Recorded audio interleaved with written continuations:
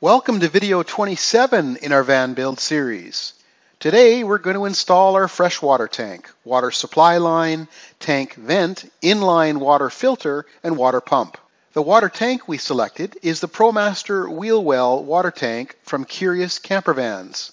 This tank utilizes that awkward area around your wheel well that often gets wasted. The water pump we chose is the Shurflo 4008.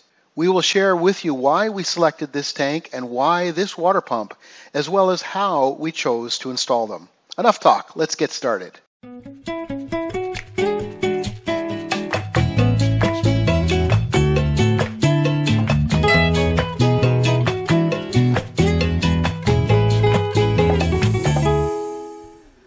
So we started this project right at the source, the water source. How are we going to get the water into the tank?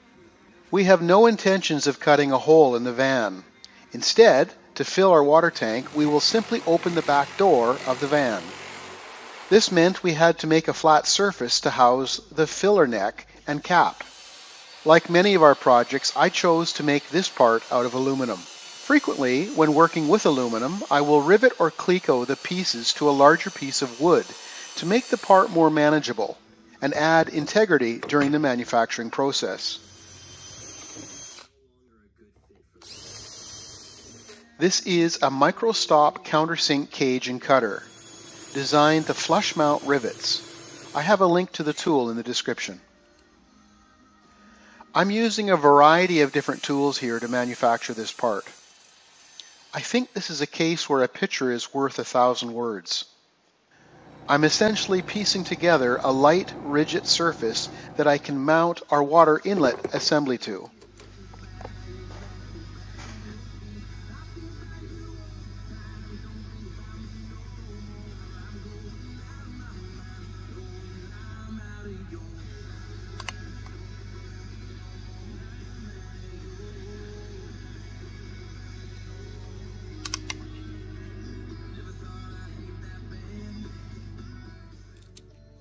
With the part finished, I'll rivet it to the bottom of our rear bed rail. This will put it at the perfect height for filling the tank and super convenient to access when you open the rear door of the van. Moving on to plumbing. When I purchased the water tank, I also purchased the fittings package. Here I am applying plumber's tape to the plastic fittings. To secure the tank, I've chosen to use 1 and 3 8 steel slotted flat galvanized metal, strong and easily bent to meet our needs.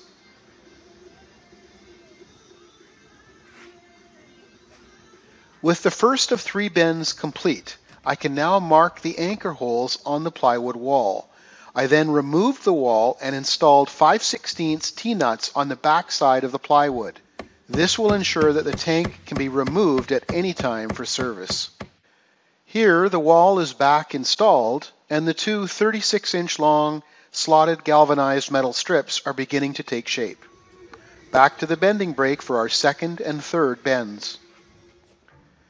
Just like the mounting to the wall, I want to be able to bolt the tank to the floor. Here I have glued two pieces of half-inch Baltic birch together to make a one-inch solid piece. I'm now drilling into the underside of the piece to countersink two floor-mounted 5 16 T-nuts.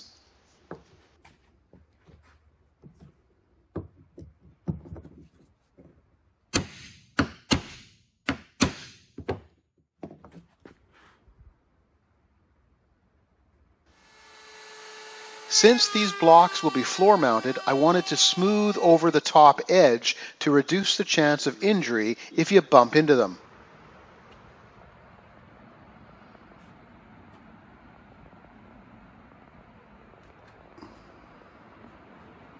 A day later, with the pieces painted, I'm using PL construction adhesive as well as two one and a half inch wood screws to secure the block to the floor.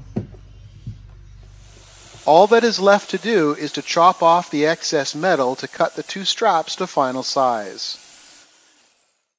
To protect the tank from the securing metal straps, I'll be using Camper Seal multi-purpose foam tape. This is exactly the same material you would use on your pickup to protect the paint while mounting a canopy.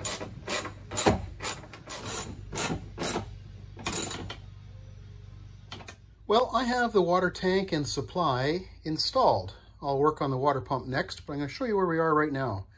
As you can see, the tank is mounted. It's a 22 gallon tank. I'll flip around the backside. I think this is quite well designed. Off the back of the tank, we have our drain right at the bottom. So in the uh, in the winter, we just uh, open that up and uh, drain it out. For that purpose, I'd probably in the fall just quickly thread in a little extension like this. And then you can uh, drain the tank and uh, it'll just be pouring straight out the back of the van. What I like about this is uh, at no time are you uh, perforating the side of the van. Uh, we're using, just open the back door and you can uh, drain the tank. Okay, here's the fill right here.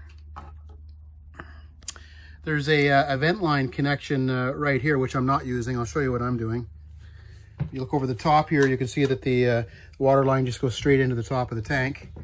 And uh, the vent line that I do not have uh, connected here, I'm connecting right here. And I'm going straight in the back of the uh, Ram ProMaster. And I'll show you where that line's coming out. We're right underneath the van here now. And here it is. So there's your vent line just in behind the bumper there, uh, which means that uh, any sloshing or anything at all the water will be coming outside the vehicle rather than uh, inside the van. And the last thing I haven't showed you is the uh, the water pickup, and that's uh, right down at the bottom here. It'll come up, and it'll head over to the pump, which will be located at the uh, front of the vehicle. Haven't installed that yet.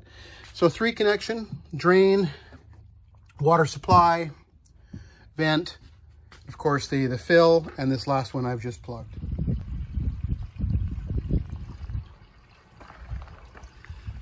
We're looking for leaks here. Nothing so far. The van sitting this way down a little bit, is? Yep. There, it's coming out the vent. So it's going pouring it straight outside, which is perfect. I'll go shut it off. So that is the overflow for the van, and it's working tickety-boo. So the tank is completely full. I'm going to leave it full for a while couple days, see if we have any leaks. The pump we chose was the Shurflo 4008.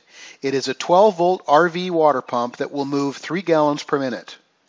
I also purchased the Shurflo 255 inline strainer and the Shurflo 94 59101 pump silencing kit. Links to all of these parts are in the description.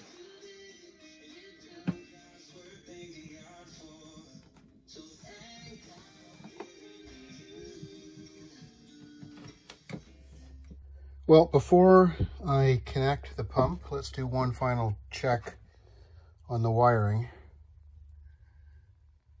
All right, let's take a look here. Water pump is this one, okay. And turn it on. And that is 12 volts. So this is working.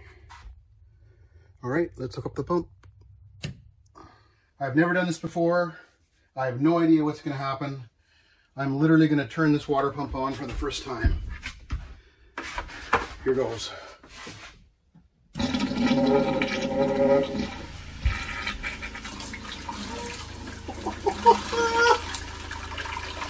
It's very quiet. It's also leaking. Where's it leaking? Oh no, it's not. It's splashing. Not leaking. Oh, is that ever quiet? This is how noisy this is, or quiet. I'm super impressed. And it looks to be moving some water.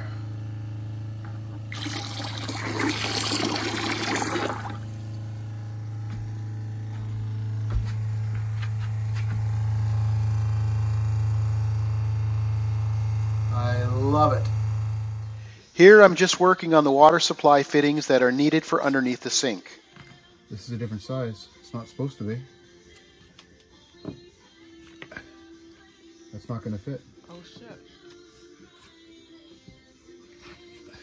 Well, maybe I'll get it on there.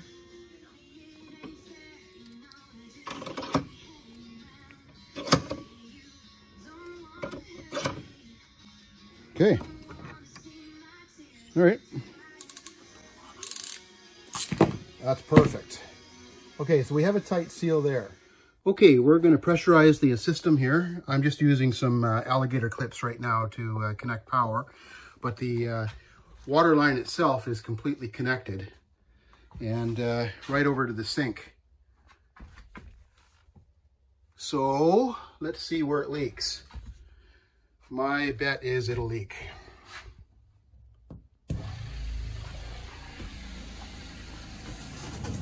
Okay, there's one. Okay, which one's that? This one's leaking right here. This one's leaking. And this one's leaking. Lovely. Okay, what's the deal? Don't use this one. That's it? Yeah, They look similar. they look pretty well exactly the same. What's this one? Pex brand, Okay, and this one? Mm. No name? no name, All right. This one leaks. like a sieve. And this one? Doesn't leak it at all. Awesome. Well, here goes take two. Honest, I'm not nervous.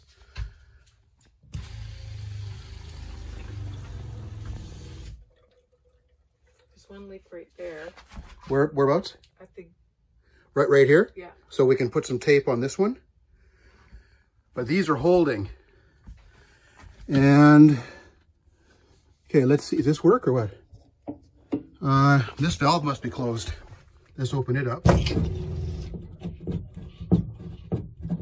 Okay, that's open. Okay, let's check this now.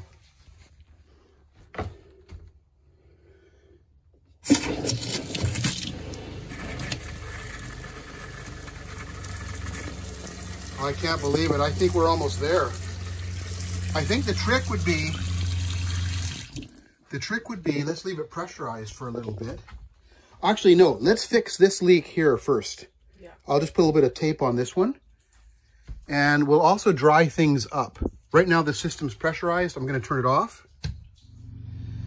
So look at this brilliant idea of Linda's. We just had some, uh, it's actually for this, I guess. It's a pipe uh, insulation, but uh, wow, talk about a vibration dampener as well. Um, I was looking for some way of mounting this, but I think I'm just gonna use this. I might have one strap or something like that, but here, I'll run it now. Um, look how quiet that is.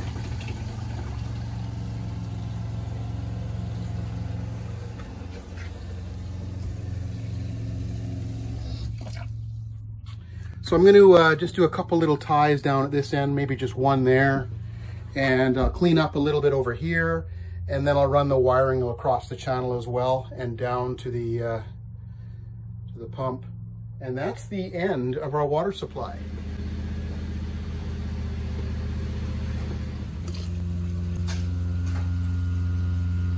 That's pretty fairly strong. 60 watts, four and a half amps. Well, this wraps up our water supply. I'm going to tackle our diesel heater next. Hey, thanks for watching.